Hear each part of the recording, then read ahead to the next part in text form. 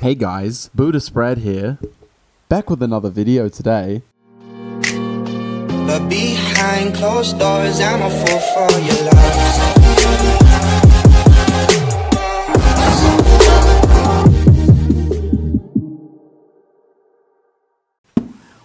This is the Ben Thomas Complete from Grit. It's brand new. Um, it's not the aftermarket ones. This is a separate thing. It's like a whole new complete. I have no idea what I'm looking at today. I don't know what it looks like. They wouldn't let me open the box before I actually opened the box, which is strange for an unboxing, isn't it? Never open a box before you uh, open open the box, right? Okay, cool. Let's open this boy, ba bad boy. Bars. Cool. Cardboard, cool. Cardboard, cool. Tools, cool.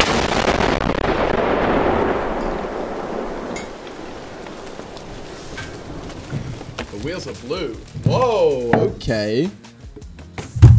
They told me there was a surprise element, and I see what that is. It's obviously the wheels. Wow, okay, we'll start with the bars. This is very hard to do with one hand. You know, the last time I was here, I really struggled opening these packages as well. Right here, we've got the bar. This is the Ben Thomas signature battle bar. It's got his nice little uh, graphic up on the top here. They're super duper light. Like, what is going on with that? So lightweight. We've got a blue double clamp on the bottom there. Six millimeter bolts. That's really good to see. And uh, the handlebar grips up the top. They're nice and sturdy. We've also got some blue bar ends that go nicely with the clamp. That's really cool. Can't get over how light they are, man. Really, really nice. This graphic, from what I remember, Ben actually has a tattoo of this graphic or something similar. But yeah, he's rocking that on the deck as well. So speaking of the deck, let's grab that one out, shall we? All right, and here we've got the deck. Now, I think the best thing about this is the wheels. Like, the colorway is sick. We've got like gum urethane with blue cores. Never seen anything like that. And it's so so solid, so lightweight. It feels really good. Deck is a two-tone black on the head tube down to silver on the back, and you can see there's the Ben Thomas graphic on the bottom as well. It's running IHC compression, so the bars are standard to oversized because they are aluminium bars, and so that's, yeah. that's why they're so super lightweight. We've got the Nico integrated headset with the compression system, the Grit forks, which are fully integrated, obviously, and run 110s. Are these 120s or what? Come to the conclusion that yes, these are 110s, and the scooter just looks really nice. I'm going to chuck the bars on, see how it looks as a complete, and we'll go from there. So here it is as a complete.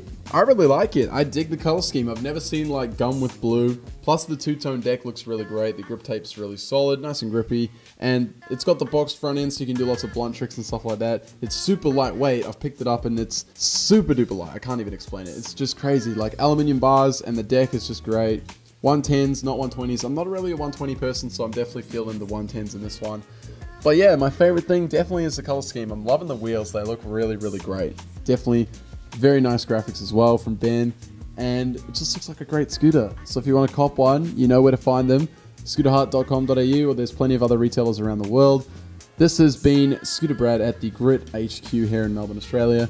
And this is the Ben Thomas Grit signature complete scooter. So if you want to cop on, definitely do that. Follow all the Grit social medias to my left right here. You can also check me out on Instagram, Twitter, YouTube, all that good stuff. Subscribe for more content just like this and uh, drop a fat thumbs up on this video if you did end up enjoying it today. It's been your boy SB. I'll see you guys in a little while. Peace out. Have a great day. But behind closed doors, I'm a fool for your love.